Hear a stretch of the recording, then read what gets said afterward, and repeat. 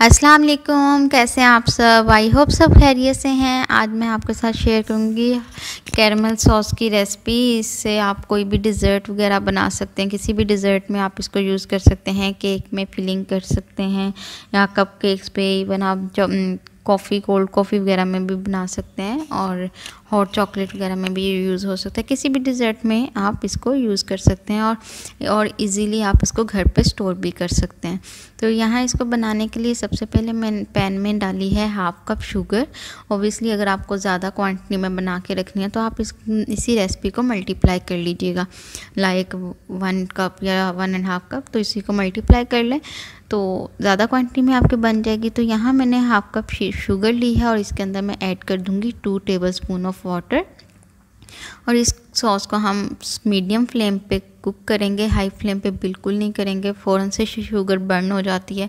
और थोड़ा सा भी अगर इसमें बर्न हो जाए और इसमें बिटरनेस आ जाए तो ये कैरमल आपके किसी भी रेसिपी में यूज़ नहीं हो सकता, वो बिल्कुल वेस्ट हो जाती है, क्योंकि उसका इतना स्ट्रॉन्ग फ्लेवर हो जाता है। तो वो यूज़ नहीं हो सकता है। तो इसको हम अब मीडियम फ्लेम पे अच्छे से कुक करते रहेंगे और इस तरह पैन को हिलाते हुए हम इसको शुगर को मेल्ट होने देंगे। इसके अंदर कोई भी स्पून नहीं हम इसमें स्टर करेंगे अभी जब तक हमारी शुगर पूरी तरह कम्प्लीटली मेल्ट नहीं हो जाती। तो अब इस तरह हम इसको अच्छे से मिक्स करेंगे। यूँ आप देख रहे हैं कि इस तरह मैं हिला रही हूँ इसको। इसी तरह मैं इसको मेल्ट करने के लिए रख दूँगी।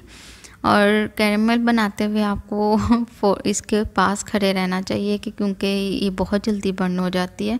शुगर तो यहाँ पैन में थोड़ा सा आप देख रहे हैं, ऐसे स्टर करने से ही चिपक जाती है शुगर।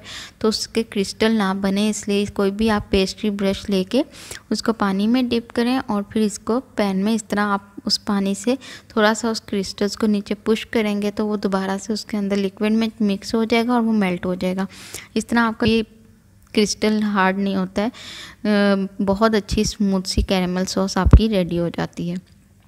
ये छोटे छोटे टिप्स हैं जिनको ध्यान रखना पड़ता है कैरमल बनाने के लिए। फिर आपकी बहुत टेस्टी कैरमल सॉस रेडी हो जाती है और कोई ये टफ़ नहीं है इसको बनाना। टेन मिनट्स में बहुत अच्छी आप इसको रेडी कर सकते हैं। तो यहाँ आप देख रहे हैं इस पर हल्का सा गोल्डन ब्राउन कलर आना स्टार्ट हो गया है। अब इस पॉइंट पे भी मैं इसमें बिल्कुल भी कोई भी स्पून हम नहीं लगाएँगे, इसको इसी तरह हम हल्का, स्लो फ्लेम पे कुक होने देंगे और इस तरह इसको राउंड में हिलाते रहेंगे। और इतना कलर हमें चाहिए, जो भी आपको कैरमल सॉस का कलर पसंद है, डार्क पसंद है तो आप डार्क भी कर सकते हैं, लेकिन ओबियसली ज़्यादा डार्क ना करें, वो थोड़ा बीटर हो जाता है। अभी मैं दोबारा से इस तरह वाटर डाल दूँगी थोड़ा सा इस तरह ब्रश के साथ वाटर उन साइड्स पे लगाऊँगी ताकि जो चिपक गई है वहाँ पे शुगर वो भी इसमें मेल्ट हो जाए अच्छे से और कोई हार्ड क्रिस्टल इसके अंदर ना आए। तो अग, आप इतना थोड़ा सा कलर रखें क्योंकि जब इसमें हम क्रीम या बटर ऐड करेंगे तो ये थोड़ा सा लाइट कलर हो जाएगा। तो इसलिए इससे मैं थोड़ा सा ज़्यादा करूँगी इसको और जब इसके अंदर बटर या क्रीम आप यूज़ करें तो इसको स्टोव से उठा के साइड पर रखें और फिर ऐड करें। कभी भी स्टोव पे रख के आप बटर या क्रीम इसमें ऐड मत कीजिएगा। वो बहुत तेज़ी से ऊपर को उछलती है और बहुत डेंजरस होती है तो बर्न होने की आपकी स्किन बर्न हो सकती है। बटर है और क्रीम है, वो आपकी रूम टेम्परेचर पे होनी चाहिए। ठंडी बिल्कुल भी नहीं होनी चाहिए। अभी आप देख रहे हैं, मैंने स्टोव से इसको उतार लिया और इसके अंदर बटर ऐड किया और ये देखें आप किस तरह ये फोमी सा इस तरह उछलता है। तो ये आप स्टोव पर अगर करते तो ये बहुत ज़्यादा इसने ऊपर को आ जाना था। तो अब इसके अंदर मैंने वन टेबल स्पून बटर और टू टेबल स्पून मैंने ऐड की है heavy whipping cream without whip किए मैंने इसके अंदर ऐड किया तो इसको अच्छे से हम मिक्स करेंगे और दोबारा से इसको मैं स्टोव पे रख के एक से दो मिनट तक कुक करूँगी। अगर तो आप इसके अंदर ठंडा बटर या फ्रिज से डायरेक्ट निकाल के क्रीम इसमें ऐड कर देंगे तो कैरमल आपका हार्ड हो जाएगा। इस तरह क्रीमी नहीं बनेगा, इसलिए दोनों चीज़ें रूम टेम्परेचर पर होना बहुत ज़रूरी है।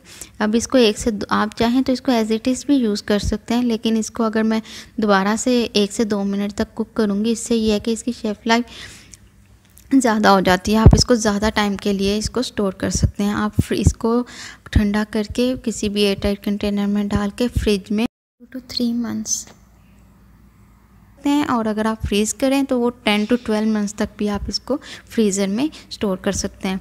ये अब इस पर इसको रूम टेम्परेचर पे आ गई है और आप देख रहे हैं कितनी अच्छी हमारी कैरमल सॉस रेडी हुई है। और अगर फ्रिज में रख के ओबियसली थोड़ी हार्ड हो जाती है तो उसको निकाल के just ten to twenty second आप माइक्रोवेव में इसको गर्म कर लें, लेकिन ज़्यादा नहीं just ten to twenty second इसको माइक्रोवेव करें तो वो दोबारा से अपनी, अच्छी सी क्रीमी सी सॉस आपकी रेडी हो जाती है।